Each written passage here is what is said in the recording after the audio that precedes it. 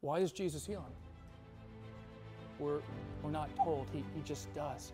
Like out of all the sick people there, Jesus chooses to heal this guy. There wasn't anything special about him. There wasn't anything that made him maybe more deserving than anyone else. He doesn't seek out Jesus. He doesn't have faith in Jesus. He doesn't even say yes when Jesus asks him, "Do you want to be healed?" And I think in many ways it's a beautiful picture of the gospel, whereas Romans 8:30 would say, "And those whom he predestined, he also called."